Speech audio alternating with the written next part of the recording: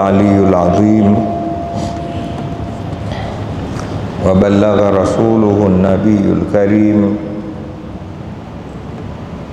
ونحن على ذلك من الشاهدين والشاكرين. والحمد لله رب العالمين. إن أحسن الحديث كتاب الله. وخير الهدي هدي نبينا محمد صلى الله عليه وسلم وشر الأمور محدثاتها وكل محدثة بدعة وكل بدعة ضلالة وكل ضلالة في النار ونعوذ بالله. وأشهد أن لا إله إلا الله وحده لا شريك له وأشهد أن سيدنا وحبيبنا وشفيعنا ومصطفانا مولانا محمدا عبده ورسوله. صلى الله عليه وعلى آله وأصحابه حق قدره ومقداره العظيم. اللهم صل وسلم عليه.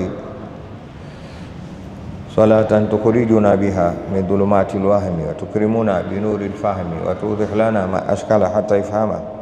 إنك تعلم ولا نعلم أنت علام الغيوب. رب اشرح لي صدري ويسر لي أمري. واحلل عقدة من لساني يفقه قولي. أما بعد. Allahumma ij'al al-Qur'ana al-'azima rabi'a qulubina wa shifaa sudurina wa dhahaba ahzanina wa kafaratan li sayyi'atina wa nawwir Allahumma bihi basairana wa absarana ya rabbal alamin. Nawaitu ta'alluma wa ta'lima wa naf'a wal intifa'a wal ifada wal istifada.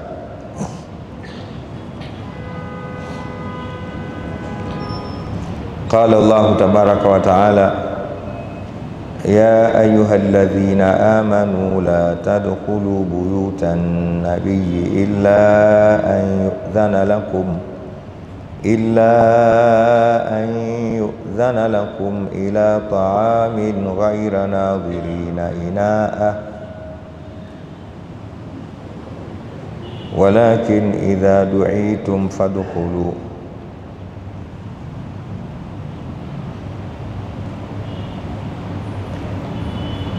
فإذا طعمتم فانتشروا ولا مستأنسين لحديث.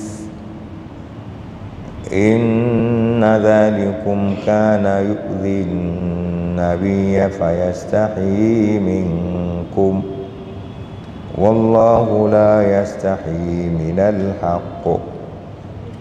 وإذا سألتموهن متاعا فاسألوهن من وراء حجاب ذلكم أطهر لقلوبكم وقلوبهن وما كان لكم أن تؤذوا رسول الله ولا أن تنكحوا أزواجه من بعده أبدا إن ذلكم كان عند الله عظيما. إن تبدوا شيئا أو تخفوه فإن الله كان بكل شيء عليما. لا جناح عليهن في آبائهن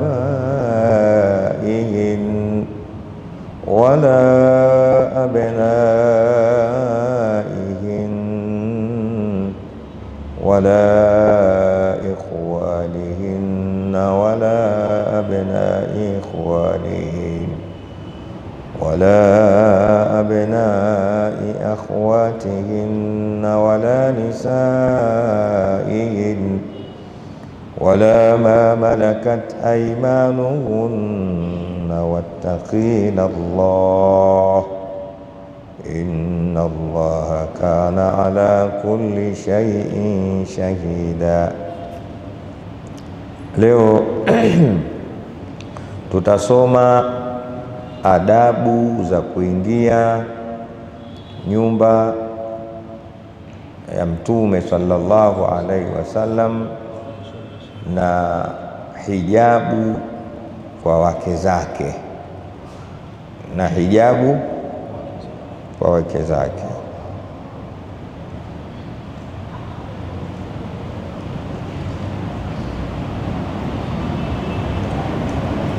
Ili tupate vizuri, tupate vizuri hayo, tuteremke nayo vyema.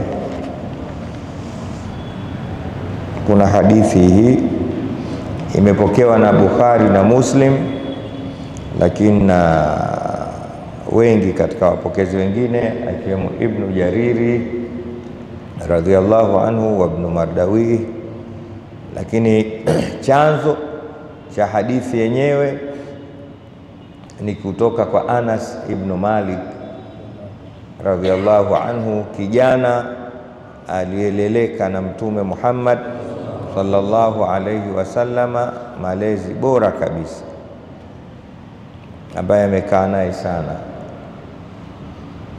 Anas bin Malik alithubutu kusema nimekaa na Mtume sallallahu alayhi wasallam vizuri. Muda ufikiao miaka zaidi ya kumi, lakini ajabu ya Mtume sallallahu alaihi wasallam, sijawahi kufanya kitu akanambia kwa nini umefanya, na sijawahi kuacha kitu kufanya akaniambia kwa nini hukufanya?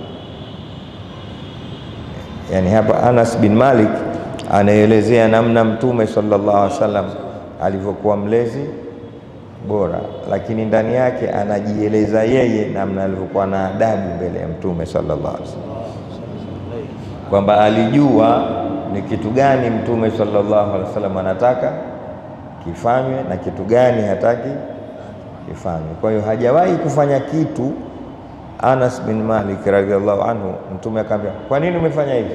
Kwa sababu alikuwa anajua kile Mtume sallallahu alaihi wasallam anafanyaje, anataka na hakuwahi kuacha kitu akaambiwa kwa nini umeacha, kwa sababu anajua Mtume sallallahu alaihi wasallam kitu kama kile hataki kifanywe. Na hii ndio hodari.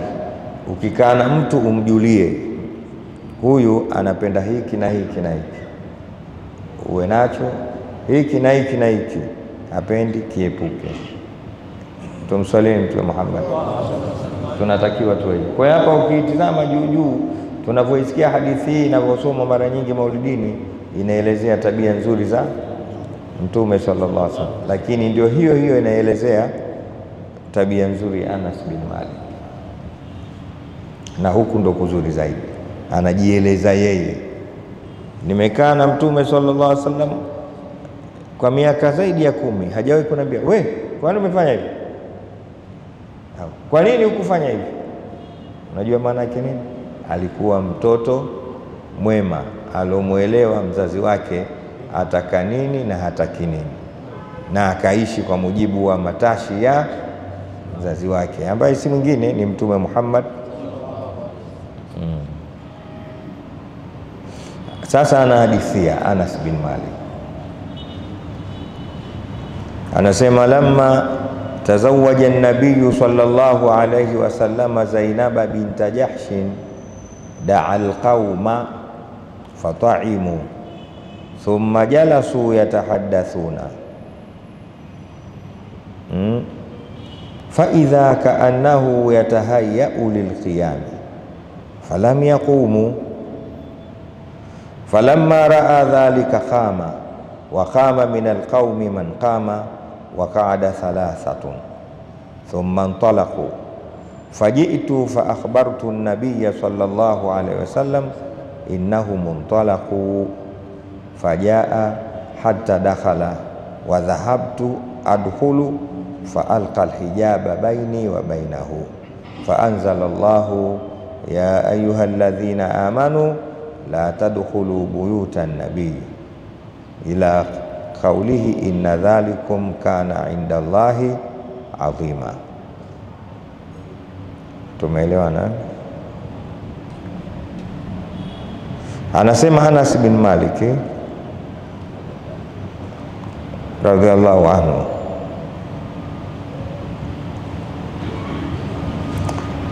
Mtume sallallahu alaihi wasallam ile siku aliyomuoa Zainab. Nani? Eh, Zainab. Tumeosoma kisa chake kirefu, ile si walimalizana wenyewe tu. Kwa idhini ya nani? Allahu subhanahu wa ta'ala. Mtume sallallahu alaihi wasallam hakutaka kulifanya jambo lile siri, aliwaita watu. Akafanya walima, aliwaita watu akafanya chakula, wakala. Sawa, kusherekea harusi, wakala sana. Sasa baada ya kula wakaanza kutia stori ya mlele ya mlele ya mlele, wanamsemesha Mtume sallallahu alaihi wasallam, wanatia naye stori tu mpaka Mtume sallallahu alaihi wasallam akachoka. Lakini kwa tabia nzuri ya Mtume sallallahu alaihi wasallam hakutaka kuwafukuza, na ukizingatia yeye bwana harusi anataka aende kwa kwa mkewe, wale tena wanaona raha kuwa na mtu mkubwa Mswalie Mtume Muhammad. Na mara nyingi ukiwa mwema, watu hawapendi kukimbia, wanataka waingie na wewe mpaka chumbani kwako, yaani waongee na wewe, waongee, yani kuwaga, wanaona? Tabu. Sasa na wewe kwa sababu ni mwema, unalijua lile, unaongea nao huko, unasinzia hivi, huwezi kuwaacha, unawaachia wao watumie hikma na akili zao. Huyu kesha choka. Lakini wao tena wanaona raha kukaa na wewe, wanaanzisha stori, wanakuuliza maswali, na ndio watu wakubwa wote wanapokuwa. Tumswali Mtume Muhammad. Basi Mtume sallallahu alaihi wasallam wanamzungumzisha, anaungulika, anataka aingie ndani kwa bwana, kwa bibi harusi.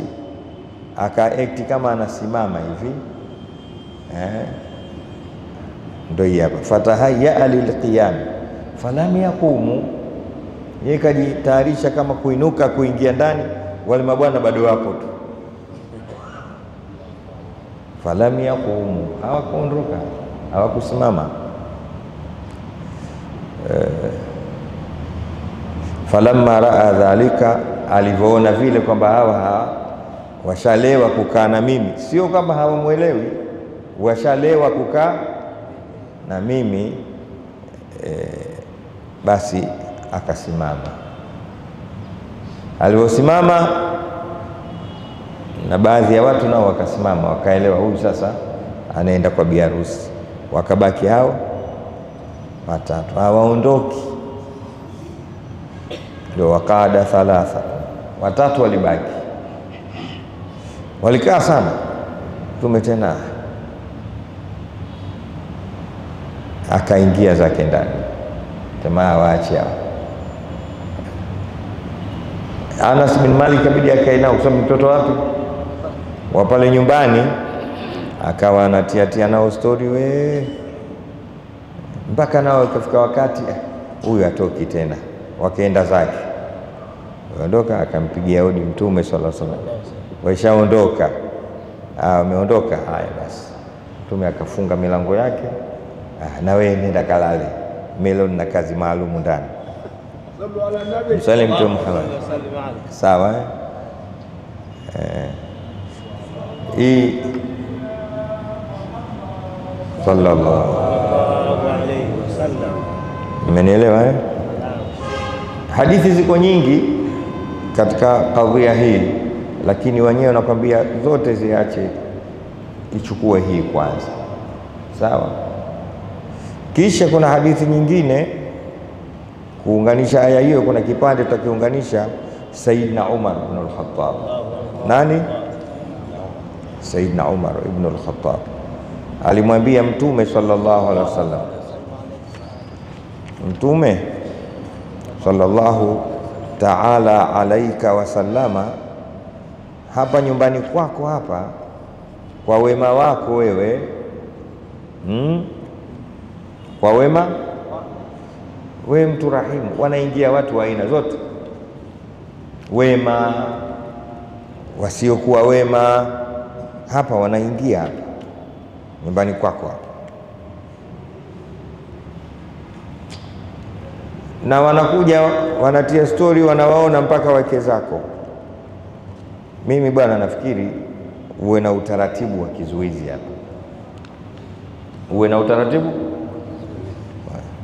na hilo jambo Mtume sallallahu alaihi wasallam alikuwa analitaka, lakini analianzaje? Anali eh,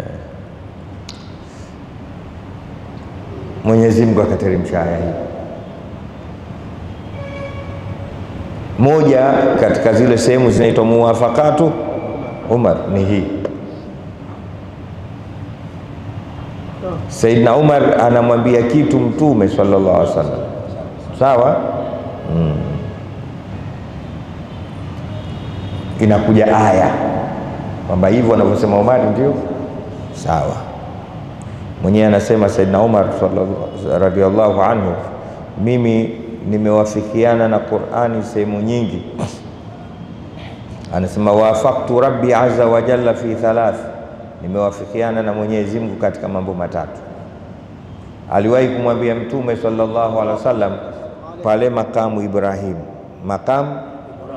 Eh, mbele ya Alkaaba kuna ile sehemu aliosimama Sayidna Ibrahim eh, alaihi salam. Aliwahi kumwambia lau ittakhadhta min maqami Ibrahima musalla, unaonaje hapa basi wewe acha, lakini hapa ungekuwa unaswali hapa.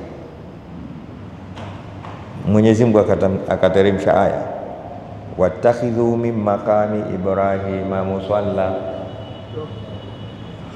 Saidna Umar fanyeni hapo sehemu ya kuswalia, sawa. Na sehemu nyingine anasema pale wakeze Mtume akiwemo na binti yangu mimi walivyokuwa wakimchosha Mtume sallallahu alaihi wasallam kwa wivu, nikawaambia mimi, Saidna Umar nikawaambia wake zake Mtume. Eh, nyie mkimletea tabu huyo, nitamwambia mie atawaacha, afu atawaacha wengine. Mungu akateremsha aya asa rabbuhu in talaka kunna an yubdilahu azwajan khairan min kunna. Aya sawa. Na sehemu ya tatu ni hii aya tutakayoisoma leo, zipo zaidi ya mara tisini, zinaitwa muwafakatu. Saidna Umar anaona nini, watu wanaona nini, Qurani inakuja inakiona kile anachokiona Saidna Umar. Wewe sema Saidna Umar mtu wa motoni, sema sema. Sawa. Sasa moja ni hii, alama Mtume sallallahu taala alaika wasallama, hapa kwako huingia watu tu, na mara nyingi nyumba za watu wakubwa, hasa watu mashehe, watu wa dawa hawa, nyumba zao milango haifungwi, milango yao haina mtu kuingia ah, mpaka wewe mwenyewe utumie akili, huyu kachoka. Lakini nyumba ya shekhe abwabuhu maftuha abada, kula, kuuliza, kulala. Moja katika alama za shekhe wa kweli, nyumba yake kuwa inaingilika. Hakai budi gani?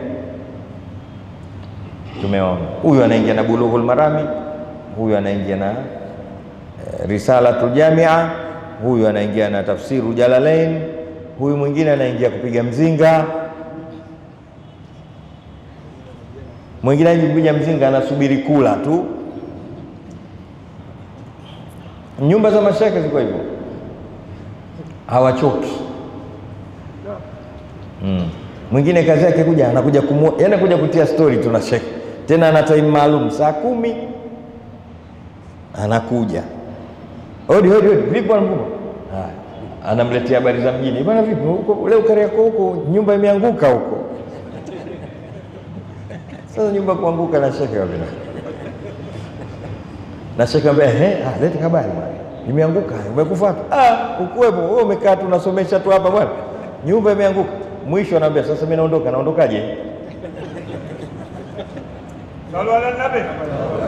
Tumeyaona Eh, tumeyaona. Basi Mtume Muhammad sallallahu ndivyo alivyokuwa hivi, Huyu anaingia, huyu anatoka, huyu ana eh. Ukiingia katika kazi ya malezi, basi sasa na watu wanakuja aina zote, aina zote, usiwakataze. Na ukimwona mtu anamkataza mwanasiasa kuingia kwa shekhe, ujue huyu mtu amwelewi shekhe, sababu shekhe yeye ni kimbilio la watu wote, watu wote, wala usiogope. Asubuhi shekhe hajaamka, watu wako barazani, na ukiuna sengine wote vibaka wanamgoja shekhe. Shekhe, ehe, upo bwana? Nipo bwana. Anajua huyu kaenda kuiba jana, hakupata, anampa yeye, hujaiba. Mswalie Mtume Muhammad. Sasa ndo aya tunazozisoma leo, kidogo mmepata picha eh? Ah, tuzioneni sasa. Sasa Mwenyezi Mungu anaingilia kati, anaingilia kati katika hali hiyo ya mashekhe hawa. Bwana sipaoni tena ya Rabbi? Eh, hapa ya ayuha alladhina amanu, enyi ambao wameamini, la tadkhulu buyuta nabii, msiingie nyumba za, za mtume sallallahu alayhi wasallam, illa an yu'dhana lakum ila taamin, isipokuwa mpewe ruhusa ya kwenda kula, ghaira nadhirina inahu, hali ya kuwa si wenye kusubiri kiuive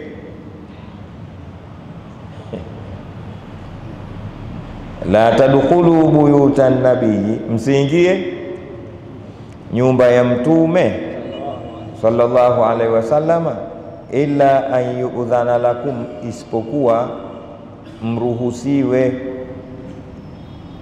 ila taamin, kula, ghaira nadhirina inahu, hali ya kuwa si wenye kusubiri kiwive. Umeelewa? Walakin idha duitum, lakini mkiitwa kwenda kula, lazima mseme hiyo, mkiitwa kwenda kula, fadukhulu, ingieni mkale. Fa idha taimtum, mkimaliza kula, fantashiru, eh, ondokeni. Wala mustaanisina lihadithin, wala msibaki tena hapo kimazungumzo mazungumzo Inna dhalikum, hakika jambo lenu hilo, kana lilikuwa au liwe, yuudhi nabia, linamuudhi mtume sallallahu alaihi wasallam kama mwanadamu. Fayastahi minkum, anawaona haya kuambia jama, nataka kwenda kulala mimi. Wallahu, lakini Mungu yeye la yastahi min alhaqi, haoni haya kubainisha haki. Mmenifahamu vizuri eh? Limeeleweka. Mwenzetu Mtume sallallahu alaihi yeye kila kitu kinamtetea nini? Qur'ani. Jamani, ye, msiingie nyumba ya Mtume sallallahu alaihi wasallam mpaka mwambiwe ingieni. Ile hodi kubu, umeingia ndani, msiingie. Maanake walikuwa wanasubiri chakula. Umeelewa? Mkiambiwa njieni kula, kuleni, na mshamaliza kula, nendeni sasa, msio mnakaa tena. Bwana, sio mchezo bwana, unasubiri cha jioni.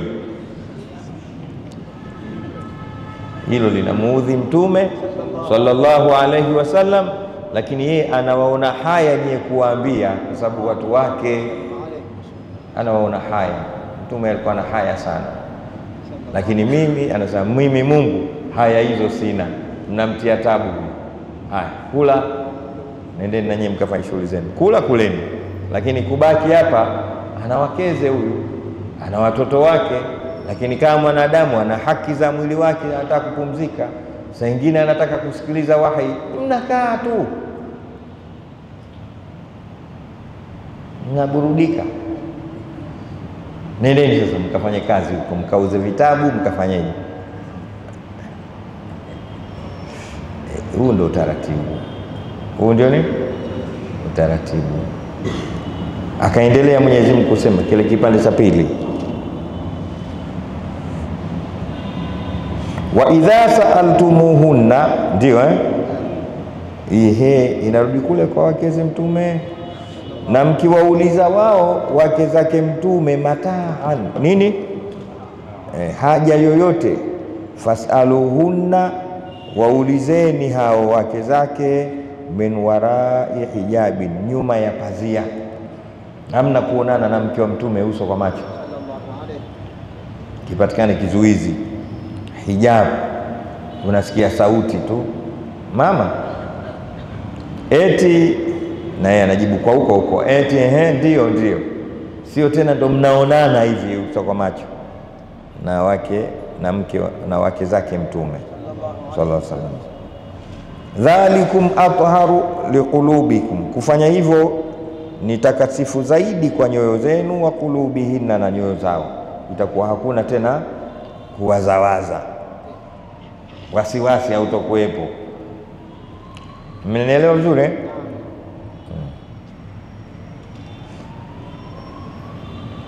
nakasema na akasema wama kana lakum an tuudhu rasulallah, na si vizuri kwenu kumuudhi mtume wa Mungu sallallahu alaihi wasallam.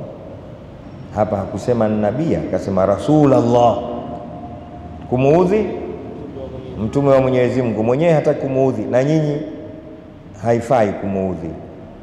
Wala antankihu azwajahu min ba'dihi abada, wala kuwaoa wake zake baada yake yeye milele, haifai inna dhalikum, ndio eh? Hakika jambo hilo lenu kana inda llahi adhima, liwe kwa Mwenyezi Mungu ni jambo kubwa sana. Mswali Mtume Muhammad. Sawa, hicho kingine ilikuwa wake za mtume pia sallallahu alayhi wasallam, hata watu wakitaka kuongea nao, huko mwanzo walikuwa wakiongea nao tu, wanawaona ikashuka hii aya ya hijab baada ya maneno ya nani? Ya Saidna Umar. Hapa kwako wanaingia watu tu, wengine hivi wengine hivi, wanaongea ongea na hawa wengine, bwana, maneno yao mengi tu, inaweza kupita kitu. Itafika utaratibu hapa wa kuweka ngao. Mwenyezi Mungu kasema hiyo. Kwa hiyo baada ya hapa wake zake Mtume sallallahu alaihi wasallam hawakuwa wakionekana Ukiwataka unatoa taarifa, huwaoni, unaongea nao kupitia kizuizi hijabu, unasikia sauti tu. Tumeelewana? Hamna kuonana nabii mkubwa. Tunaendelea, tutarudia kusherehesha eh? Mungu anasema in tubdu shay'an au tukfuhu, mkidhihirisha chochote kitu katika vitendo vyenu, au tukfuhu, au mkakifisha katika nyoyo zenu, fa inna Allaha kana bikulli shay'in alima, hakika Mwenyezi Mungu awe mjuzi wa kila kitu. Ufichi wala udhihirishe, Mwenyezi Mungu anafanyaje? Anakijua, Manake kubalini. Kisha akafungua akasema la junaha alaihinna, hakuna ubaya kwa hao wake zake Mtume sallallahu alaihi wasallam kuonana fi abaihinna, na baba zao. Baba zao wanaweza kuona nao, hawaongei nao kwenye mapazia, wanaingia na maamami hapo na mababu, sawa sawa, maami zao na babu, hapana ubaya, wanaweza kuonana nao. Wala abnaihinna, wala watoto wao hawana ubaya, wataonana nao. Wala ikhwanihinna, wala kaka zao wao wanaweza kuonana nao. Wala abnai ikhwanihinna, wala watoto wa kiume wa kaka zao. Wala abnai akhwatihinna, wala watoto wa kiume wa dada zao. Wala nisaihinna, wala wanawake wenzao wala ma malakat aimanuhunna, wala wale ambao wana inawamiliki mikono yao ya kuume, yani watumwa wao na wajakazi wao, wao hawana neno. Kisha ikaja iltifati, wattaqina Allaha, nanyi wake za mtume endeleeni kumcha Mungu. Wattaqina Allaha, basi nanyi wake zake mtume sallallahu alaihi wasallam endeleeni kumcha. Utaratibu huu na nyinyi unawahusu. msije ukafanya upendeleo kabla kuna mtoto maki. Kuna baadhi ya watoto wengine wanaolelewa na Mtume wanapendeza zaidi, wanapendwa zaidi na wamama.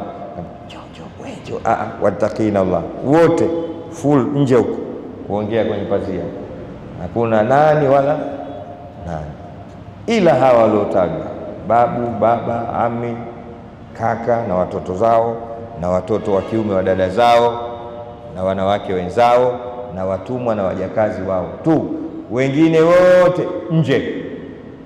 Kuongea. Msalini Mtume Muhammad, inna Allaha kana ala kulli shay'in shahida, Mwenyezi Mungu awe juu ya kila jambo ni mwenye kulishuhudia. Waislamu, hizi ni adabu za Uislamu, hapa zinamhusu Mtume sallallahu alaihi wasallam, lakini lakad kana lakum fi rasulillahi, na sisi tunatakiwa tuishi hivi. Wale watu wetu wale wasioweza kujisemea wamesemewa na aya hii tu. Tuna lugha nzuri sisi wa Tanzania Kiswahili kuita tujiongeze, tu tujiongeze. Kawaida ya walezi na akawapenda anawalea. kuna wakati mwingine anaona tabu kumwambia mtu. Ah, nikimwambia huyo wa inshallah nimsubirie, atajua mwenyewe kesho. Sio kama anakupoteza, ana anavuta subira, wanakuwa hawana haraka ya wewe kufanya. Kujua haraka. Inshallah, wacha niendelee, nikuwa naye huyu, hichi kitu atakijua, utoto atafanyaje, au ugeni huu, lakini baadaye atafanyaje? Wana kitu kinaitwa taalif. Nini taalif? Yale maneno aliyosema mwenyewe Mtume Muhammad sallallahu alaihi wasallam, almuminu yalafu wa yulafu la khaira fi man la yalafu wala yulafu. Hmm? Yani almuminu, muumini wa kweli, yalafu, anazoea haraka watu, wa yulafu, na yeye anazowewa. la khaira fi man la yalafu wala yulafu, hapana kheri kwa yule ambaye hazoei watu na watu hawamzoei yeye. Mmenielewa vizuri?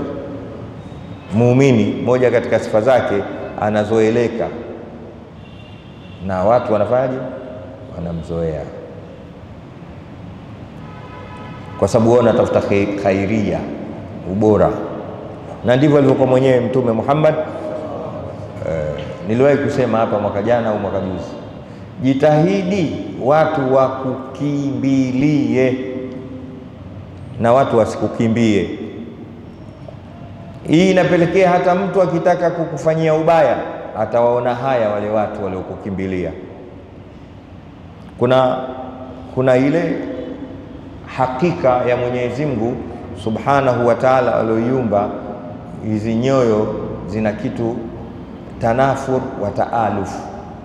Andika pembeni, kuna tanafur na taal, taaluf. Tanafur ni kukimbizana, kukimbiana.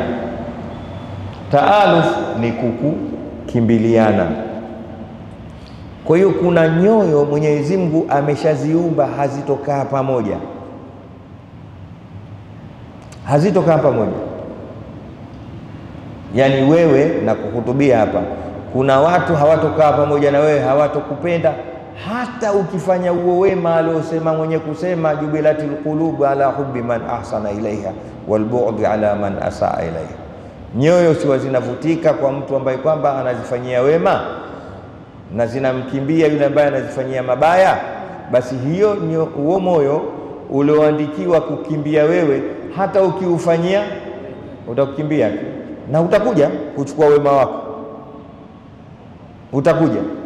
Unagawa pesa, asiyokupenda atakuja atachukua pesa, na akitoka pale ndo nini sasa, tunatoa hela ajifanyikane, ndo nini? Ndo nini, lakini hela atupi,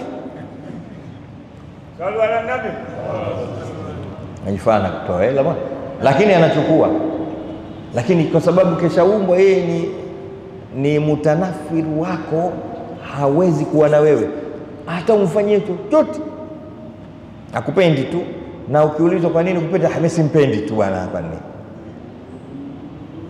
na yule ambaye umeumbiwa awe na taalufu na wewe atakupenda hata ukimuudhi, hata usipompa atakuletea wewe. Chukua bwana, wewe unamwonyesha namna zote, lakini atakupenda. Ili mnatakiwa mlijue hili eh. Simona nyinyi mko darasani hapa eh? Kuna watu wengine wanakaa hapo nyuma tu, darasa hili halipendi, anaenda kusikiza darasa kijibweni, anapata tabu eh. Usipate tabu naye, Mungu ndo kishaumba yule atukimbie. Na kuna mtu wa vijibweni anakuja hapa, ni mipango yana? Sasa Mtume Muhammad anasifiwa na Mwenyezi Mungu, na watu waliomwelewa Mtume sallallahu alaihi wasallam wanazichukua sifa zile wanakwenda nazo wapi? fabima rahmatin min Allahi linta lahum walau kunta faddan ghalidha alqalbi lanfaddu min hawlik fa'fu anhum eh? wastaghfir lahum washawirhum faidha azamta fatawakkal ala Allah. Inna Allaha yuhibbul mutawakkilin. Allah, basi mswalini Mtume Muhammad jamaa, kwa wagumu. Fabima rahmatin min Allahi linta lahum, anasema kwa kwa sababu ba, baul ya, ya mulabasa. Baul mulabasa Qurani tamu sana. Kwa sababu ya kufaana na rehma ya Mwenyezi Mungu, basi linta lahum, wewe Mtume Muhammad sallallahu taala alaihi wasallam, wewe umekuwa laini kwa watu, yani unachukulika, unazoea, wanakuzoea.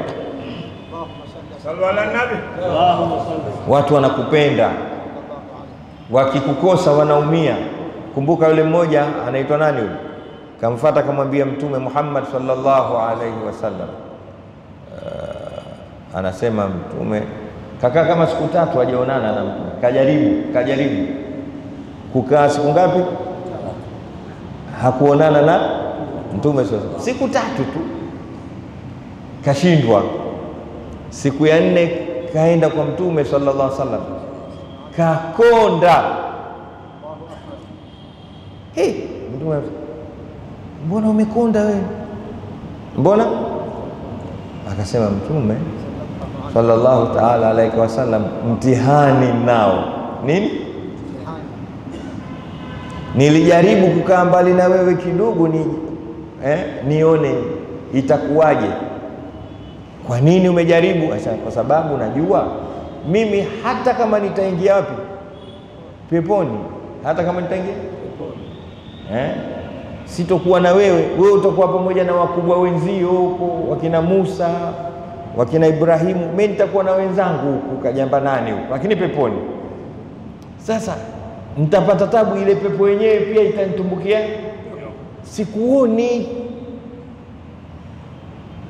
Sasa nikajaribu kukaa na wewe nizoee kuto ndio kukonda huku, naona hizi siku tatu hizi, sio kama sijakula akamwambia anta ma maman ahbabta, usio na wasiwasi, wewe popote utakuwa na umpendaye. Msalie Mtume Muhammad.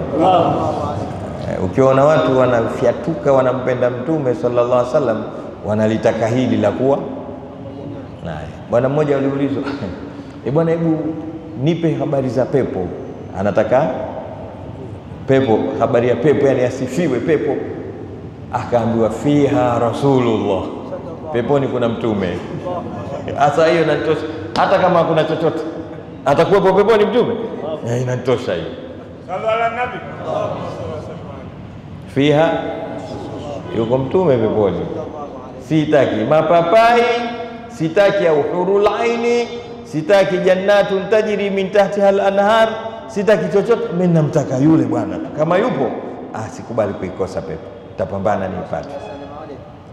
Eh, umefahamu sasa? Kwa sababu Mtume sallallahu alaihi wasallam alikuwa akivuta watu, fabima rahmati minallahi linta lahum, kwa sababu ya rehma ya Allah eh, umekuwa laini kwao, maanake ulikuwa wewe eh, alufu, ulikuwa unazoeleka na unazoea, unazoeleka na walau kunta faddan ghalidha lam lamfaddu min hawlik, ungekuwa mgumu, ungekuwa maanake uzoeleki taimu yote, ukitokea uso wako ndio unaitwa uso nini? Uso uso wa mbuzi. Ah, mbona huyu mbuzi ana uso mzuri tu? Unajua mbuzi ana uso mzuri kweli, mpaka macho yake ya kulembua lembua hivi. Tafuteni uso wa nani bwana? Hmm? Muda wote. Eh, uso wa nani? Uso wa nini unatokea watu wakikuona tena basi hata msikitini, kwa sababu tu tunatofautiana madhehebu, tunatofautiana kuswali. Hii kuswali hapa na hapa ndio ah, wengine sisi hata kukunja uso hatupendezi, cheka cheka basi. Walau kunta fadhlan, ungekuwa msusuwavu, yani mgumu, ghalidhu alqalbi, msusuavu wa moyo, huzoeleki, lamfadhu min hauli, watu wangekukimbia. Watu hawakumkimbia Mtume sallallahu mpaka wabaya walimkimbilia. Na wewe jitahidi mtaani kuwa hivyo, mtaani na wewe jitahidi watu wakukimbilie. Usipokuwepo watamani urudi, na ukirudi wa, wa, wasitamani usafiri. Mtaani, nyumbani kwako, msikitini, watu wapende kukuona masaa yote eh. Sio wakikuona sa shabashi kishakuja huyu sikilizeni hapo eh. Ukitokea watu baada ya kuona radhina bil amin waseme la ilaha illa Allah eh. Usiwe hivyo, au ukirudi nyumbani watu wakwambia haya tustahimilini. Anayestahimiliwa mtoto mdogo au mwenda azimu. Mtu mzima ni, ni matusi kwamba jamani, tumvumilie. Basi mawili, ima wamekuona mtoto au chizi. Ukiona nyumbani unaambiwa mvumilieni jamani, mvumilieni, ataondoka sasa hivi. Wewe ujue wewe mwehu unaweza kufanya kitu chochote cha wehu wehu.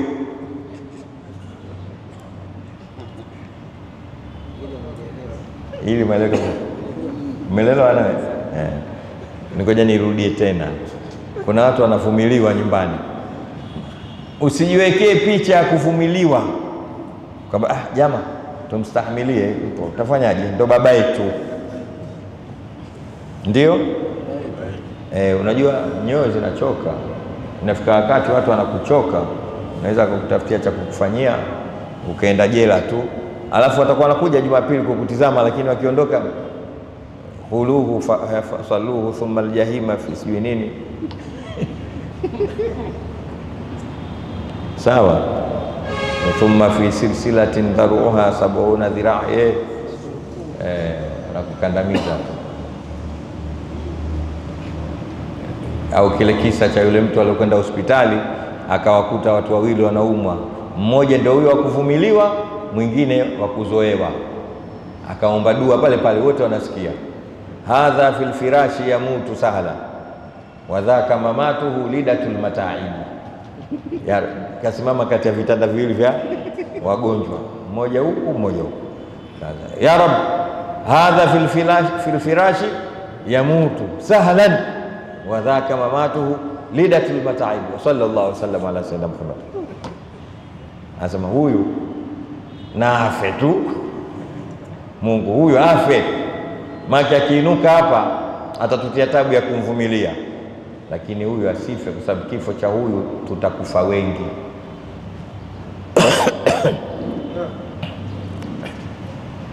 Kuna mtu kufa kwake kuna hui wake, na kuna mtu kufa kwake kuna ua. Kuna mtu akifa, basi watu wote watakufa. watakufa hisan wa maanawia. Eh, tushaona. Kuna baadhi ya watu wanakaa katika jamii, akifa jamii inaparaganyika. Kwa sababu mlezi alioweza kuibeba. Nimeanza haya, ndivyo alivyokuwa Mtume Muhammad sallallahu alaihi wasallam, ndivyo alivyokuwa akikimbiliwa. Na angalia Mwenyezi Mungu katika aya hii anaambiwa, pamoja na yote anamwambia fafu anhu, faafu, wasamehe wa? Sababu wanakuudhiudhi, hawaijui nafasi yako, ndio fa'fu anhum, wasamehe. Wanaweza kukwambia lolote tu. Mm. Sawa sawa, au sisi tu watu wadogo wadogo tu, si tunaitwa tuna maimamu humu msikitini, lakini kuna mtu raha yake asikuite imamu, raha yake wewe ushakuja hapa msikitini unajulikana imamu, lakini hapa hapa tukita tena takutafutia ile jina la zamani. Chogo, ili aonekane anakuweza. Hii Walidi safadhali kuta Walidi, yeye atakuita ilo jina zamani kabisa. Chogo. Na kisa changu, wakati nimeswalisha hapa miaka mingi, siku moja ikaja harusi hapa, inatoka maeneo ya Ilala huko. Miongoni mwa watu waliosindikiza ile harusi kuna kijana mimi nimesoma naye darasa la, la kwanza mpaka la saba, Uhuru Mchanganyiko. Sasa si mnajua mashuleni kila mmoja ana jina lake, yale majina ya shule yale, ukiitwa unakasirika yale. Nyie wote mnayo majina yale, mmeyaficha tu. Kuna jina hilo ukiitwa unacharuka, maanake ugomvi hata mwalimu mkuu hauwezi. Sasa yule bwana hatujaonana miaka mingi, tangu tumeachana miaka ile, mi nimekwenda huko kusoma, nimerudi. Sasa hajaniona, ghafla siku hiyo kaja hapa, mi nimemuona. Hamu yangu mi baada ya swala ile harusi nimsalimie, uko wapi kaka, baada siku nyingi, una watoto wangapi, ulikuwepo wapi? Hamu yangu mi ye hamu yake ile. Nimesimama hapa hapa, sikaniita lile jina, nikaambia bwana, huku msikiti mambo yashapita. Ala, mimi nilikuwa nataka kujua ndo wewe au sio wewe?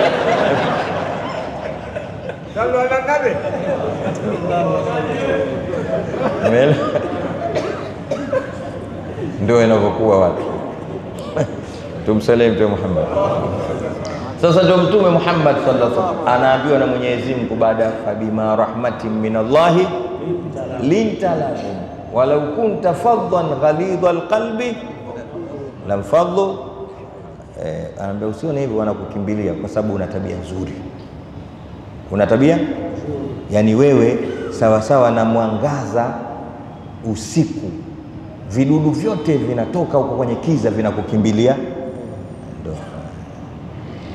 Fabima rahmatin min Allah linta lahu. Wa, yani wamekuja kwako kwa sababu kama vile kwenye kiza ukawasha tochi, unaona wadudu wanavyokuja, ndio wewe na hao. Wanakuja kufata mwangaza huo. Sasa fa'fu anhum, hao wako tofauti tofauti, wengine. Wehu, wengine sijui nini, wengine walikuwa wanakujua zamani, wanakuita majina ya zamani yale. Fa'fu anhu, wasamehe Mnanielewa vizuri? Mnaambiwa na nyinyi wenye vyeo vyenu wenye madaraka yenu huko, mnaambiwa faafu anhum, wasamehe, lakini wastaghfir lahum, usiishie kuwasamehe wewe tu, pia waombee msamaha kwa Mola wao. Kisha kwa sababu ni binadamu, nao wana akili zao, washawiruhum fil taka ushauri wao. Ngazi tatu. Ukiwa nazo katika jamii, utakuwa wewe unathaminika sana, kwa sababu umewathamini watu.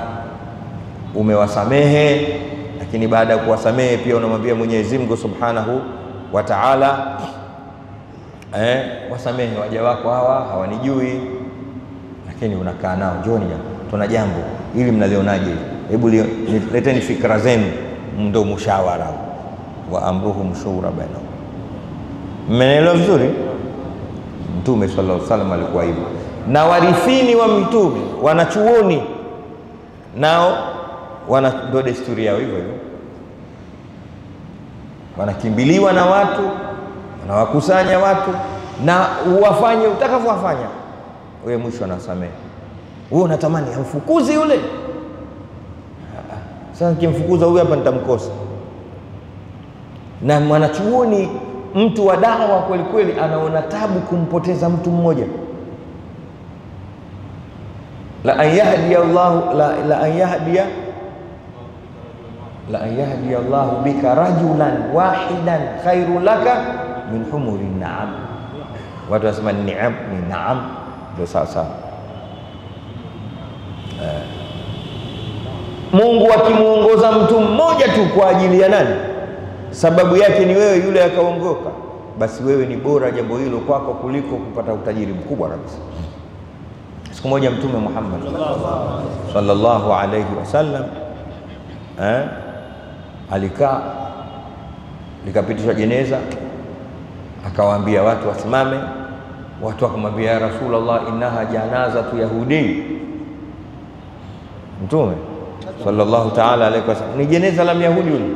Akasema alaisa biadami, alaisa, kwani sio mwanadamu? Uyahudi wake tumwachi mwenyewe, lakini uheshimiwa wake wa wanadamu fai tumsimamie. Lakad karamna bani adam, tumemtukuza mwanadamu, tumemheshimisha mwanadamu, tuheshimie, kwa sababu kafa myahudi ndio tumdharau. Simameni. Masahaba wakasimama hmm? Kisha akaonekana analia, akasema nafsun kad aflatat minni, nafsun sa nilikuwepo wapi? Nafsi imeniponyoka mpaka anakufa Myahudi, mii nilikuwepo wapi? Na mi nimekuja kazi watu wasife Mayahudi mpaka afa Myahudi, mi nilikuwepo wapi? Anasikitikia kuikosa nafsi hii.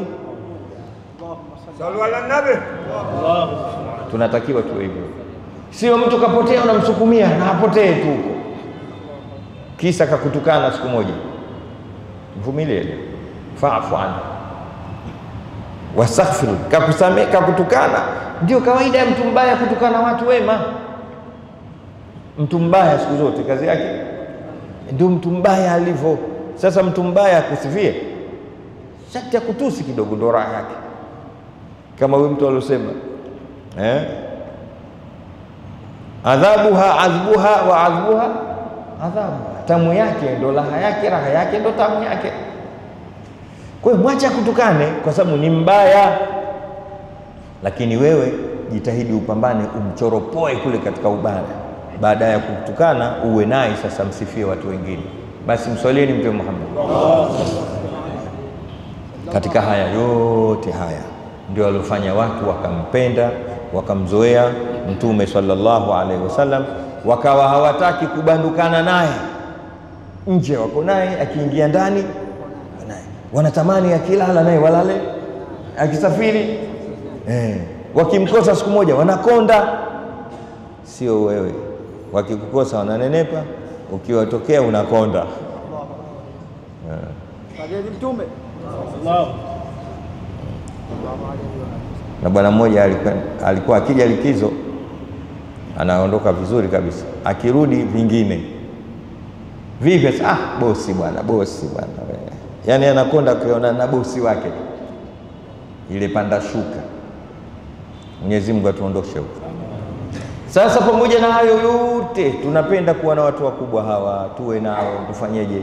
Lakini ifike wakati tujifanyeje? Tujiongeze. Ndio darasa yetu ya leo, tujiongeze, kwa sababu kama mwanadamu, ubinadamu wakati mwingine utampitia, "Ah, basi huyu niko naye aende kulala huyu aniachi na mimi nikapumzika kidogo. Hakufukuzi hata kufukuza, aniache hata kidogo eh, mpaka waji- sasa. Hapa Mwenyezi Mungu ameingilia kati. Haya, tuzisome kwa mara mwisho hizi aya uone utamu wake baada ya yote. Ya ayuha nabi, ya ayuha alladhina amanu, enyi ambao wameamini, la tadkhulu buyuta nabii, msiziingie nyumba za mtume. Sawa eh? Buyuta jamu ya nini? Ya baiti. Maanake alikuwa na nyumba nyingi, kila mke katika chumba chake. Illa ayudhana lakum, isipokuwa mruhusiwe. Ah, kuna kitu kimoja muhimu sana hapa, mnaona anaelezwa Mtume eh? sallallahu alaihi wasallam. Uzuri wa Uislamu ni dini ya kanuni na dini ya mipango. Kwa sisi wengine wote, kuna sehemu nyakati hizi usende kwa mtu ila kwa ruksa. Nisikilizeni vizuri, aya nzima imekuja Suratun Nur, sawa? ya ayuha alladhina amanu liyastadhinakum alladhina malakat aymanukum walladhina lam yablughu lhulma minkum thalatha marati, sawa?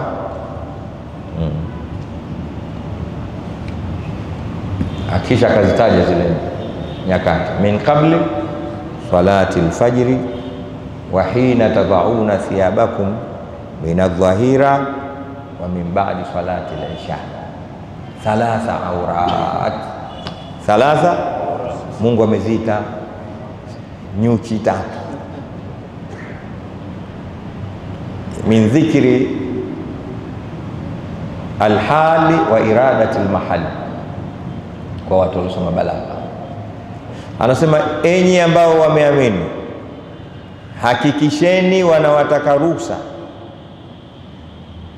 kuingia katika majumba yenu, wale ambao kwamba inamiliki mikono yenu sawa sawa, na wale ambao hawajafikia utu uzima katika nyinyi, sawa.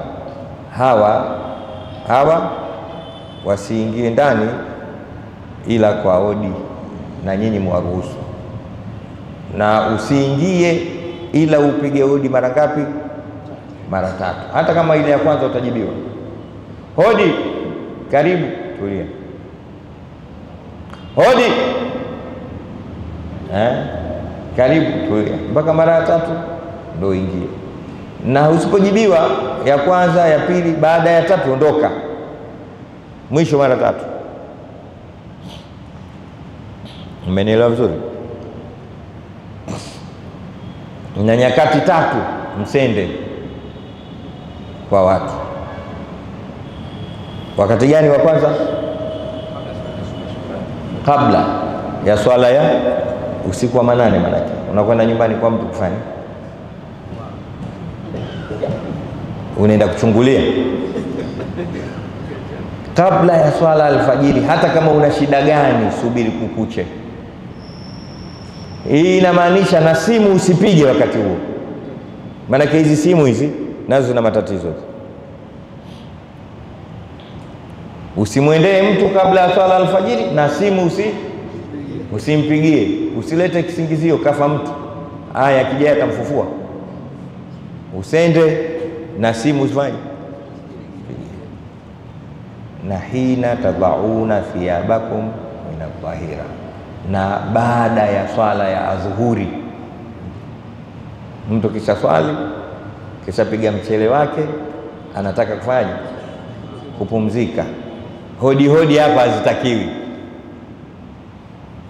Usende na simu usipige,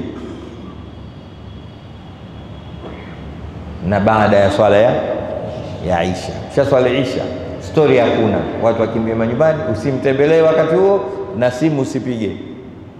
Mungu sehemu hizi tatu, nyakati hizi tatu anaziita thalatha aurat. Si mnajua juzi tulisema maneno aura eh? Eh. Kuna tupu na kuna uchi, aura na saua. Saua ni tupu, aura ni uchi. Kwa hiyo auratu rajuli ma baina surati wa rukba, uchi wa mwanamme ni kati ya kitovu na nini, magoti. Sawa.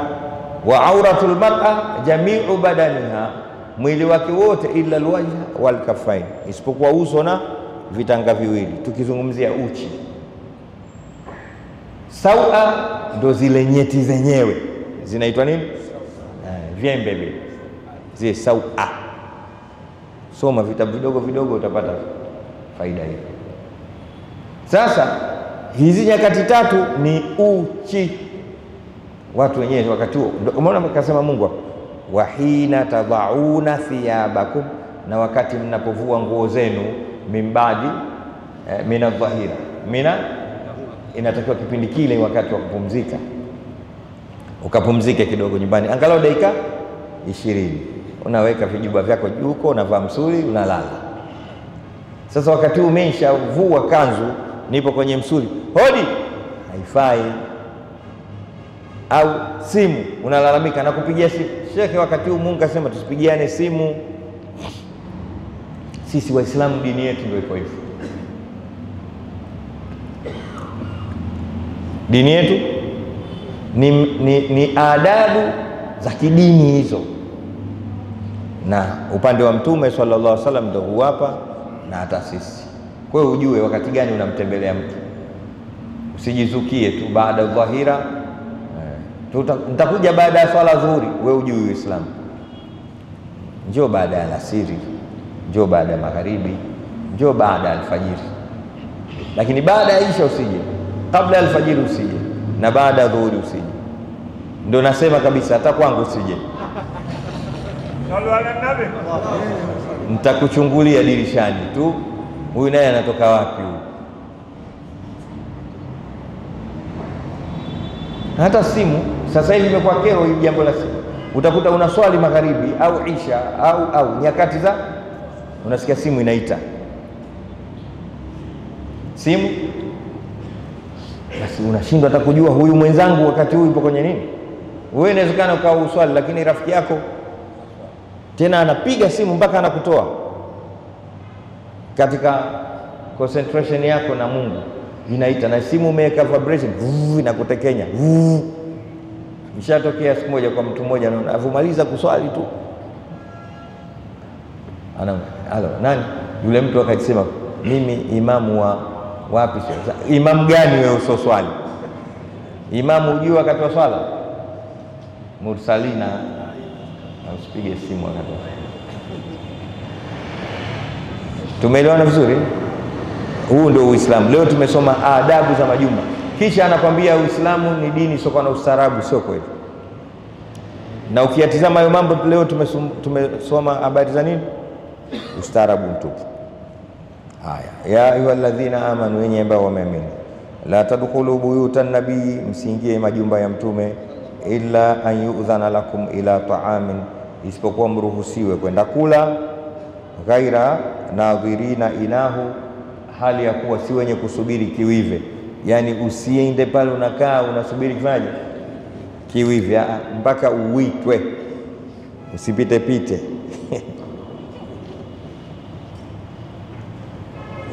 sawa. Usirushe nzi kuja huku tayari kushawiva. Walakini idha duitum, lakini mkiitwa, fadkhulu, ingieni katika majumba hayo kwa idhni faidha taimtum, mkimaliza kula, fantashiru, sepeni, yaniondokeni wala mustaanisina lihadithin, wala msibaki kusikiliza hadithi. Tena mitaja neno lihadithin, inawezekana mazungumzo, inawezekana hadithi za Mtume. Sawa, inna dhalikum kana yuudhi nabiya, hakika jambo hilo nyie lilikuwa likimuudhi Mtume sallallahu alayhi wasallam fayastahi minkum, akawaona haya nyie. Wallahu la yastahi min alhaqi, Mwenyezi Mungu aoni haya kubainisha haki. Wa idha saaltumuhunna mataan, na mkiwauliza wake zake haja, fasaluhunna min warai hijabin, waulizeni haja hizo au waombeni haja hizo nyuma ya mapazia. Dhalikum atharu liqulubikum wa qulubihinna, kufanya hivyo ni kutakasifu zaidi kwa nyoyo zenu na nyoyo zao. Wama kana lakum an tuudhu rasulallah, na haifai kwenu kumuudhi mtume wa Mungu sallallahu alaihi wasallam. Wala an tankihu azwajahu min ba'dihi abada, wala kuwaoa wake zake baada yake yeye milele. Inna dhalikum kana inda Allahi adhima, hakika kufanya hivyo kuwe kwa Mwenyezi Mungu ni jambo kubwa sana. Wa in intubdu shay'an, intubdu shay'an, mkidhihirisha chochote katika vitendo vyenu na maneno yenu, au tukfuhu, au mkavifisha kwa nyoyo zenu, fa inna Allaha kana bikulli shay'in alima, hakika Mwenyezi Mungu awe ni mjuzi wa kila jambo eh? La junaha alaihinna, hakuna ubaya wala lawama juu ya hao wake zake Mtume, fi abaihim, katika kukutana na baba zao pasi na hijabu, wala abnaihinna, wala watoto wao wa kiume, wala ikhwanihinna, wala watoto wao wala kaka zao, wala abnai ikhwanihinna, wala watoto wa kiume wa kaka zao, wala abnai akhwatihinna, wala watoto wa kiume wa dada zao, wala nisaihinna, wala wanawake wenzao, wala ma malakat aimanuhunna, wala wale ambao inamiliki mikono yao ya kuume. Wattaqina Allaha, na nyinyi wake zake Mtume endeleeni kumcha Mwenyezi Mungu. Inna Allaha kana ala kulli shay'in shahida, hakika Mwenyezi Mungu awe juu ya kila jambo analishuhudia. Tumeelewana eh? Kipande hichi napenda kukisemea hiki iki la junaha alaihinna, na hawa au hukumu hii hata kwa wake sio za Mtume eh? kwamba si vibaya wake zetu kukutana na baba zao katika hali isiyokuwa ya hijabu, wajistiri kawaida, sawa. Mmenielewa vizuri? Au kukutana na ami zao au watoto wao wa kiume, sawa mm? au hawa waliotajwa wote hapo. Lakini sasa hivi ukitizama utakuta ni vice versa. Wale ambao wanawake wanatakiwa wakutana nao wajistiri, ndo hawajistiri, na wale wanaotakiwa wasijistiri wanajistiri. Yaani mtu akiingia babake ndo unaona anachukua mtandio, lakini akiingia mtu anaosoma naye anatupa, hana haja ya mtandio. Hamjaona hayo? Nirudie hapo eh? Yaani baba anaweza kukutana na binti yake pasi na mtandio. Babu anaweza kukutana na binti yake pasi na mtandio.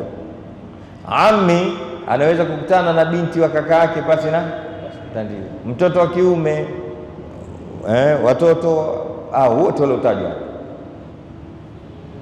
inawezekana Kiislamu, lakini tumebadilisha sasa. Mtu akisikia baba yake anaingia au babu yake ndo atakimbilia baibui lake, hey, baba anakuja, baba anakuja, anajifunika funika aonekane, kisa babake. Huyu hamna tabu, hata usipojifunika ukavaa kawaida tu. Inatakiwa ujifunike ukisikia anaingia mtu uliosoma naye au jirani yako au muuza nyama. Hapo nijua mtacheka tu. E bwana, siku hizi wale wauza nyama. Sio nyinyi hapa, najua hapa mpo. Na wauza samaki, unasikia hodi, kesha ingia mpaka uwani, alafu mama Nabili anatoka hivyo hivyo. Hapana, uruhusiwi kwa kigezo cha kuuza nyama, michicha, mabilinganya, nazi, mlangoni, ishia mlangoni,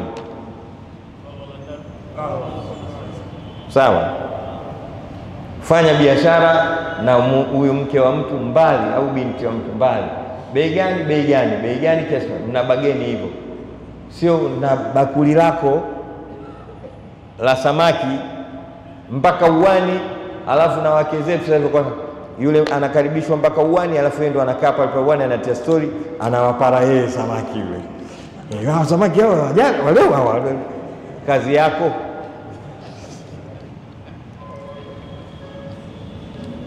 na wale watu wa promotion wale. Watu wa? Eh, wa kuuzauza majani ya chai, dawa za kujichua chua, na anaingia mtu mwingine kichupa kimoja tu mpaka uwani hivi, na wanasema wale watu wa promotion wale. Wanafundishwa namna ya kupanga maneno. Wewe unafikia akikusudia kugeuza upande wa pili anamkosa mtu. Vile anavyofanya mpaka unanua kile kichupa. Sasa akaamua kuchukua mtu eh, kweni makini bwana, kuweni na wivu na wake zenu. Adayuthu la yadkhulul janna, asiokuwa na wivu aingie peponi. Nirudie hapo, asiokuwa na wivu eh, unaambia kabisa we mwenye promotion hapo hapo hapo hapo. Mmesikia hali? Anaingia mtu na begi lake kashika kichupa kimoja, na wallahi wanasema wale eh, awamezimate na wamepanga ukikataa kile anatoa kingine. Sasa akigeuza upande wa pili utapona. Haya mambo ya hijabu muhimu sana, ndo mambo yanabadili, yanaharibika swale mitaani huko, yanafanya yanaharibika. Na mchezo huu tuliozoea sokoni, wanakwenda wake zetu, sio sawa. Sokoni nenda mwenyewe, mwambie mama, unataka nini leo? Umekusudia kupika nini? Na kikaratasi chako akutume biringanya, unaandika binzari nyembamba, unaandika mchele kilo mbili na nini. Mmefahamu vizuri? Na samaki anayomtaka unaondoka, unamnunulia vitu vyake, unampelekea. Au kijana wa kiume, wala sio binti yako ndo tunapopigwa hapo.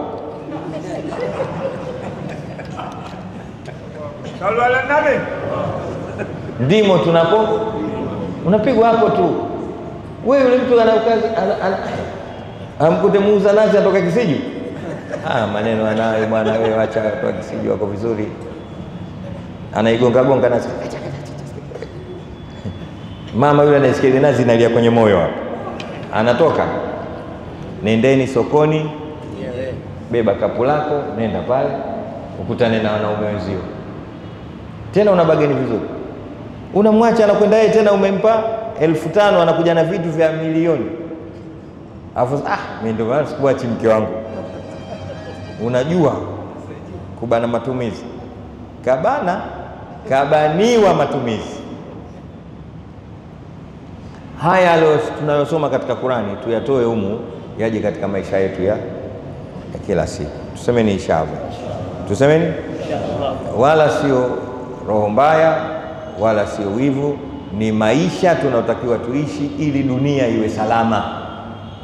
Mungu ametuletea haya, kabla hajaleta haya anasema qulna nahbitu minha jamia fa imma yatiyannakum minni huda faman tabia hudaya fala khawfun alayhim wala hum yahzanun.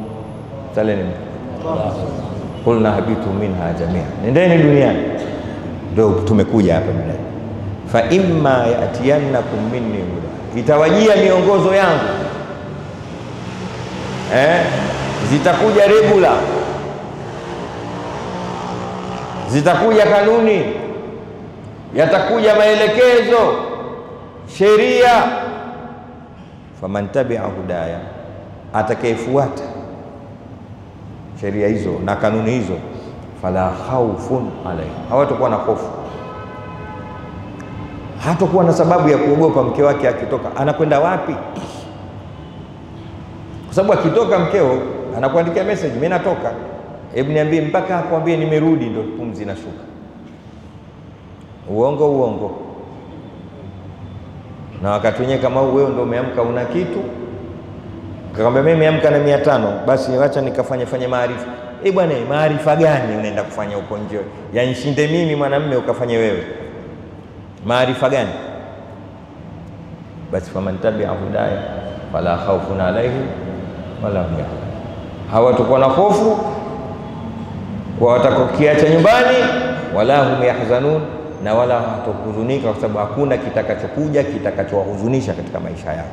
Leo tumesoma habari za hijab za mke wake zake Mtume sallallahu alaihi wasallam, lakini tukasoma na adabu kubwa kabisa ya kujiongeza mbele za watu makubwa, masala ya kwenda ukatia stori na shekhe, unatia stori, unaunganisha tu kama sasa unaanza habari ya Simba we walivyofungwa, una, una bado unageuza draw, bado unaanza sasa habari za siasa, bado tena siasa, vyama vyote unavijua wewe, kafu CCM, Chadema, TLP.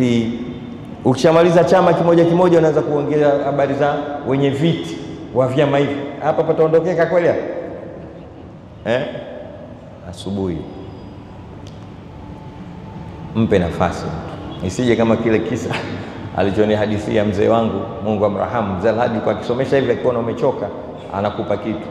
Kuna bwana mmoja aliingia ghafla nyumbani pa kwa mtu, ulikuwa wakati wa chakula, akaona do na chakula chenyewe kidogo. Yule bwana akatia naye story kidogo, akasema basi ngoja niswali raka mbili, uswali rakataini. Mwenyeji yule akati na swali na yule mgeni naye uswali arba rakaati.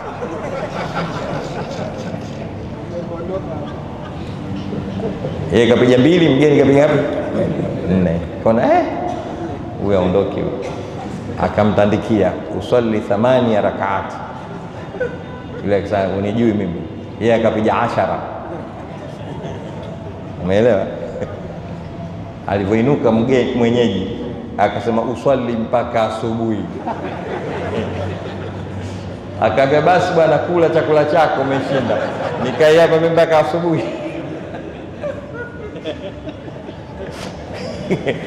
Msingojee mpaka yakawakuta watu mtu anaswali mpaka asubuhi. Eh. Haya, maswali mawili matatu. Waalaikum salaam. Mara nyingi maalim nimekusikia katika hotuba zako sana kusoma aya hii ya Mwenyezi Mungu, wadhakiruhum. Wadhakiruhum. Naam. Ni zipi hizo ayami? Sheikh Athmani anasema mara nyingi ananisikia ni katika hutuba hizi nazungumzia sana wadhakiruhum biayamillah, wakumbushe eh, walaqad arsalna Musa ila qaumihi an ikhrijin nasa min adh-dhulumati ila nur wadhakirhum biayamillah. Aya inasema hivyo eh? Tulimtuma Musa aende kwa watu wetu, kwa watu wake, tukamwambia awatoe katika kiza, awatie katika mwangaza, lakini wadhakiruhum biayami la, Tafsiri ni nyingi. Kuna wadhakiruhum biayami la, wakumbushe siku za Mungu watu, zile siku ambazo Mwenyezi Mungu aliwaangamiza watu wabaya, Yani wakumbushe historia kwamba walipita huko Irama, walipita Hud, walipita sijui Banu Mungu akawaangamiza katika siku zile.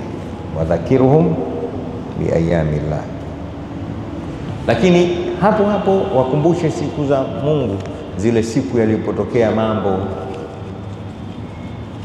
matukufu kama siku aliozaliwa Mtume sallallahu alaihi wasallam. Iko haja ya kuingia katika dhikra. Siku aliozaliwa Isa ibn Maryam, iko haja ya kuingia katika dhikra. Kumbushe watu zile siku ambazo yalikuja mambo zote mbili, inakwenda huku na wadhakiruhum biayamillah siku walizoangamizwa watu wabaya. Alam tara kaifa faala rabbuka biashabil fil, siku hii min ayami llah bihadha almaana. Mwambie bwana, fanyeni haya, msipofanya haya mkafanya haya yatawakuta yaliwakuta wale watu wa fili. Fanyeni haya, msipofanya haya mkafanya haya yatawakuta watu kaumu Lutwi. Fanyeni haya, msipofanya haya yatawakuta wale watu wa Nuhu alayhi salam wakaangamizwa baharini. Wadhakiruhum biayami, wakaangamizwa na, na mafuriko yale? Fanyeni haya, msipofanya haya yatawakuta yaliwakuta watu wa Firauni wakaangamizwa katika mto Naili. Wadhakiruhum biayami llah, namna hiyo sawa sawa. Alafu wadhakiruhum biayami llah wakumbusha zile siku yaliyotokea mambo matukufu. Wasalamun alayya yauma ulida wa yauma yamutu wa yauma ubathu hayya, siku aliozaliwa Nabii Allah Isa, siku aliozaliwa Mtume Muhammad, siku aliozaliwa Musa, siku siku siku iliyoshushwa Qurani, Lailatul Qadri, ayamillah, Ramadhani, wadhakiruhum bi ayamillah. Sawa sawa, wadhakiruhum bi ayamillah, siku za siku ngumu ambazo saa ingine sio hata kwa sababu ya madhambi. Tetemeko limetokea, limetokea nayo ni siku ile min ayami. Usikae ukasahau, wakumbushe watu siku za korona, wadhakiruhum biayamillah. Mnakumbuka korona ilivyokuja hapa na wote tulikuwaje? Wadhakiruhum biayamillah. Leo watu washasahau kimbembe cha nini tulikuwa tukaliani hivi tena dunia nzima, dunia? Sisi kidogo huku Mungu alitusaidia saidia kwa ile hali zetu, lakini nchi zote kubwa zilipata tabu. Ujerumani, Uingereza, watu hawakutoka ndani. Miaka, hawakutoka. Mpaka Kenya hawakutoka, watu. Wanatoka kwa masaa. Sisi tulijitembelea kwa sababu tulikuwa na kiongozi kasema hakuna korona, na sisi wote tukajitia majunu, hakuna korona, lakini ilikuwemo namba Aha. Sawa sawa, wadhakirhum biayamillah. Na hata watu wa maulidi aya yao ndio hiyo hiyo ya kuitaja ile siku usiku wa kumi na mbili katika mfungo sita, wadhakirhum biayamillah. Hii ndio maana yake. Jazakallahu khair. Ehe. Kuna swali kwenye mtandao anasema, sura ya pili aya ya mia mbili na ishirini na tisa inayosema talaka mbili. Sasa swali ni Ya tatu inatokea wapi? Mm, Hata mimi nimeliona ile katika mtandao, wanasema talaka ni mbili, ya tatu inatokea wapi? Aka- Akaharibu mbele akisema, je, kuna hadithi inayosema ya tatu? Kwani mnakimbilia kwenye hadithi na aya? Mtajibu, lakini sasa hivi nyewe wote me mmelemaa na hilo. Nipe aya au hadithi.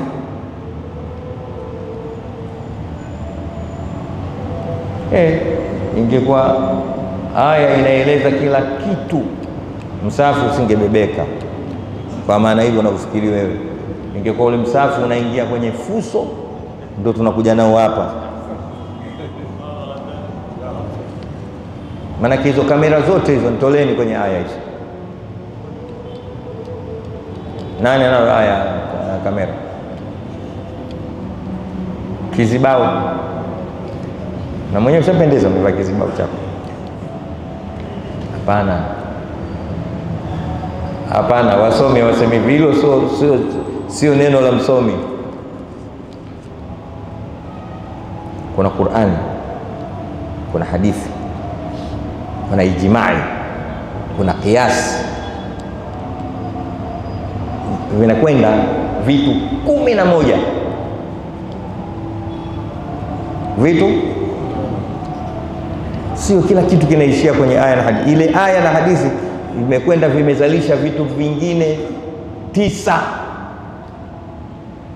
Ndio maana sisi tukakaa machuoni tukasoma kuisoma hivyo lakini vikubwa hivyo Qurani, hadithi, ijmaa, kiasi. Unaweza kuwa usikione kitu katika Qurani kikaa kwenye hadithi, ukakosa kwenye hadithi, kiko katika ijmai umma, hakuna katika ijmai, kuna kiasi. Mmenielewa? Nasema kwa nguvu hivyo. Kuna vitu vingi vingi vingi havijaelezwa wazi wazi katika Qur'ani. Qur'ani kuna ma, maelezo mengine hayauelewi kwa wazi, mafuhumu yanaelewa, hiki maana yake ni kile,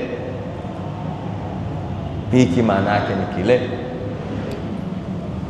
Wakati inashuka aya ya kuharamisha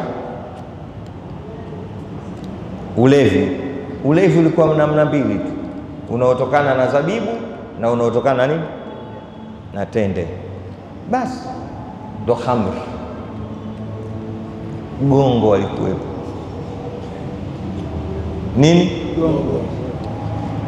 njimbo aikwe majina ya pombe hapo, chimpumu. Wanzuki, kiki.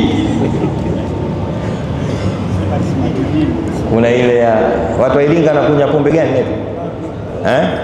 Ulanzi. Eh.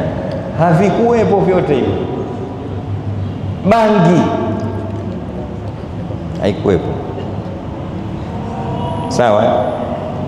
Ikatizamwa sababu ya kuharamishwa ile iliyotokana na tende na zabibu, sababu yake ni khamrul aql, khamrul?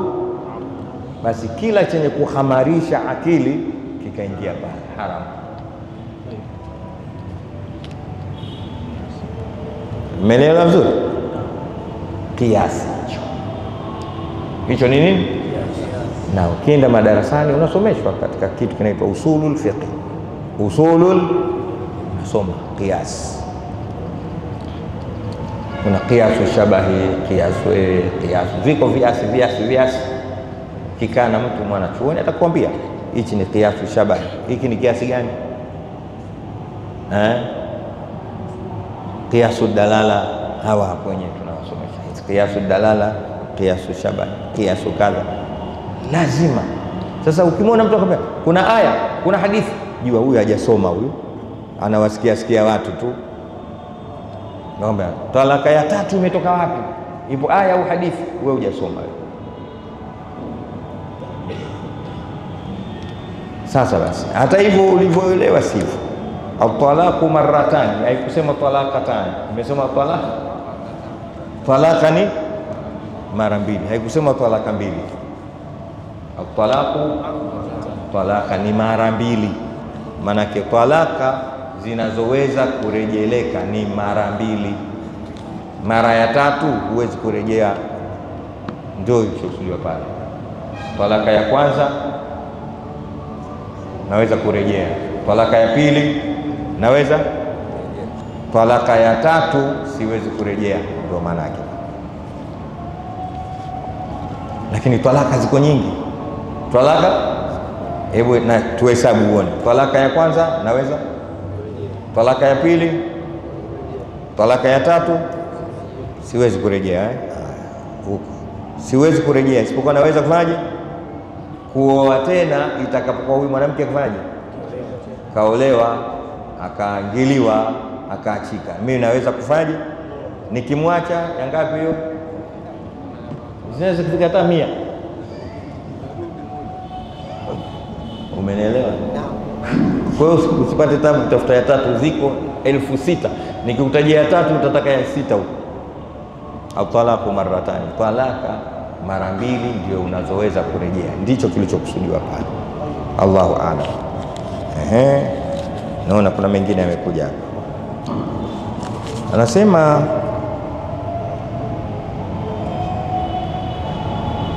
ukisujudu sharti nayo puhwa iguse chini, au sio lazima? Sio lazima, lakini ni sunna. Unatakiwa usujudu kwa maeneo saba. Usujudu kwanza japa au paja la uso. Pili viganja vingapi jumla hivyo? Eh, moja, mbili, tatu eh? Kisha goti sawa na matumbo ya vidole, lakini ni vizuri na pua nayo ika kwa, sio lazima pua, lakini raha yake sunna na pua iguse. Kwa hiyo ukisujudu sio lazima pua, lakini ukifanya na pua itapendeza sana. Umeelewa eh? Akauliza mwingine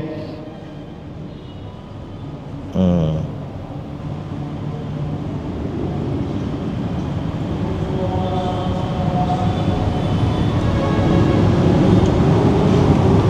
Huyu maneno mengi lakini mazuri. Anasema, ustadhi, samahani na kuomba kwa ajili ya Allah utuelezee japo kwa uchache, vipi mwanamke wa Kiislamu anatakiwa kutoka nje ya nyumba yake, maana wanawake wanajidhalilisha kwa kutembea hivyo, kasema uchi. Ah, tulisoma hili darasa tangu juzi.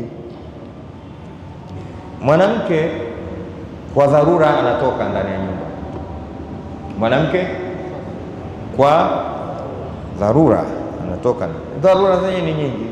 kwenda kazini anaweza kutoka mwanamke, kwenda msibani anaweza kutoka, kwenda shamba sawa, anafanya biashara, hana mtu wa kumkimu maisha, anajisimamia yeye mwenyewe na watoto wake. Hizo zote ni dharura zinazomruhusu kuja msikitini kama hivi, kwenda katika sehemu za ibada, matukio ya halali, mwanamke akatazwa.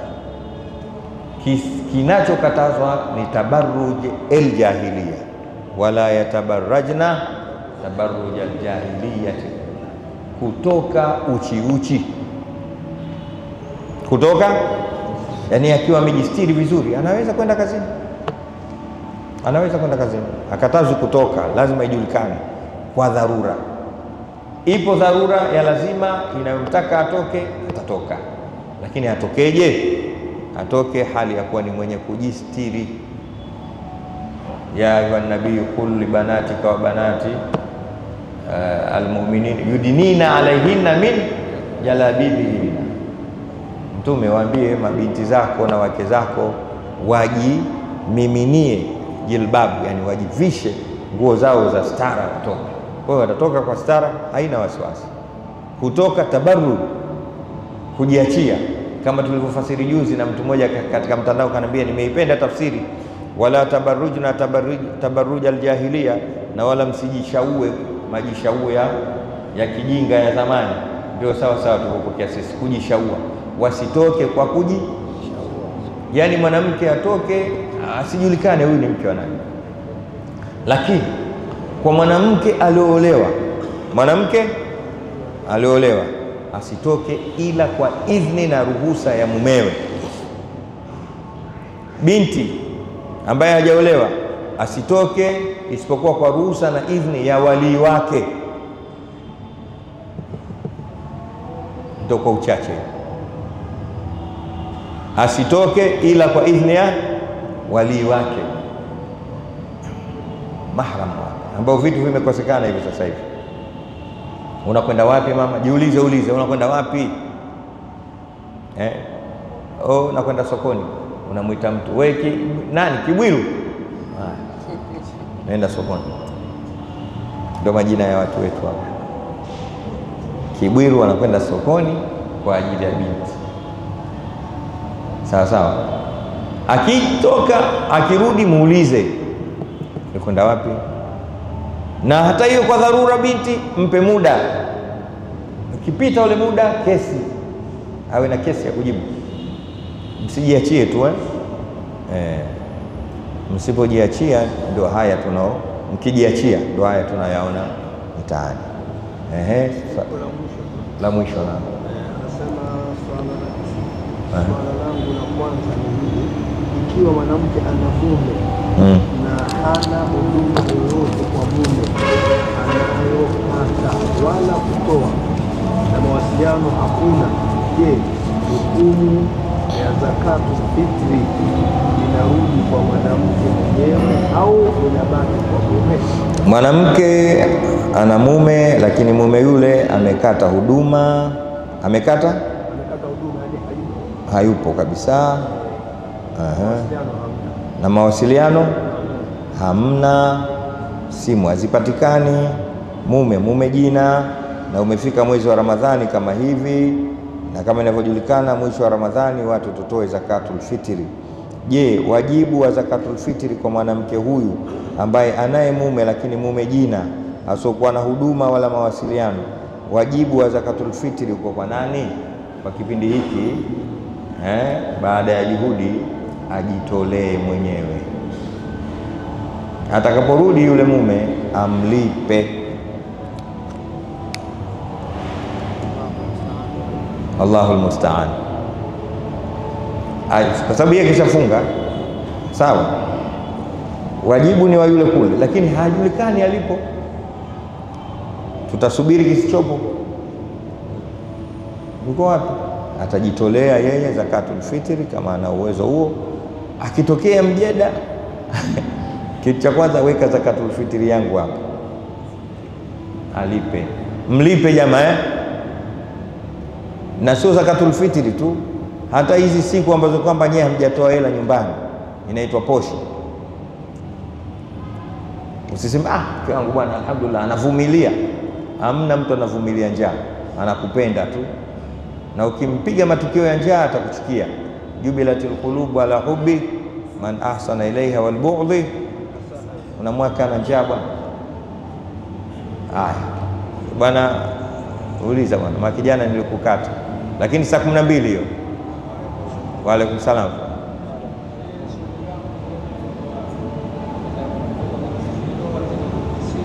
Sisikii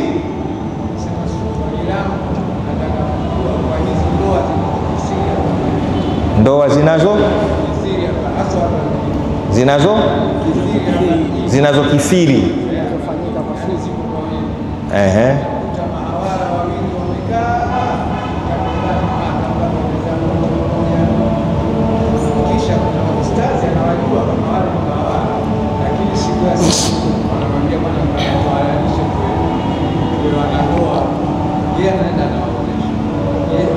Kafanya vizuri, kafanya vizuri tu eh, ka, don't know. Kuna baadhi ya madhehebu wanakwambia haifai, lakini madhehebu kama ya Imam Shafi na kaulu jumhuri waozeshe, kwa sababu msiwaozesha si wanabaki kule. Eh, umenielewa Sheikh? Eh? Hawa hawajaoana lakini wanakulana. Sasa ustadhi unakuja sema ah, hiyo haifai. Ndio umefanya sisi, umewasaidia? amekaeni hapa. Waozeshe. Hayo mambo mwingine mwachie Mungu. Umenielewa vizuri? Saa kumi na mbili. Haya. watu wa Kenya wanakuona sasa hivi,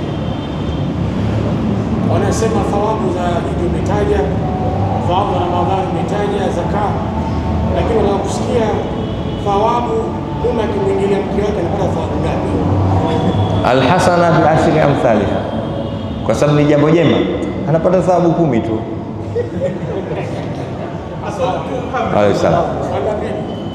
Ehe. Anasema sisi wahadhiri tukienda Kongo, Rwanda, Burundi, Eh.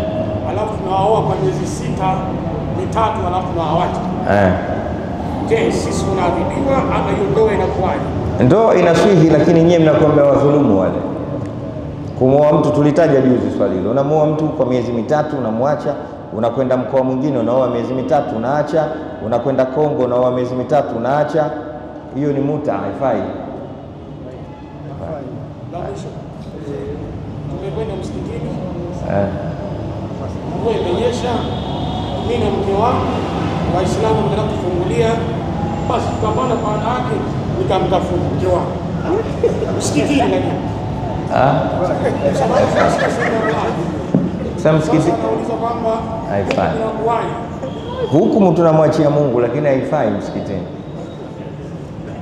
Msikitini haingii mtu mwenye janaba. Sasa unalichukulia umuhimu?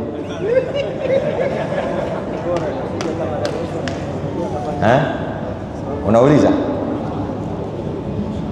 unakumbusha? Em, sisikii sema. Ah, Daudi, njoo bwana, njoo bwana.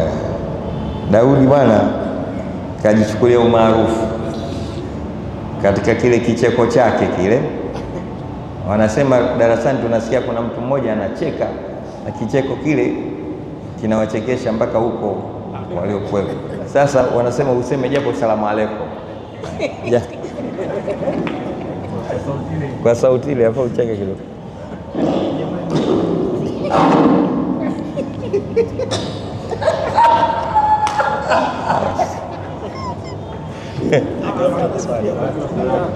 Bwana Jesu, salamu alaykum. Salamu alaykum. Salamu alaikum. Alisome tusione. Haya, kuna huyu anauliza Huyu ndio Daudi online online na Eh, eh. anasema mtu ambaye hakujaliwa kupata kwa muda mrefu mtoto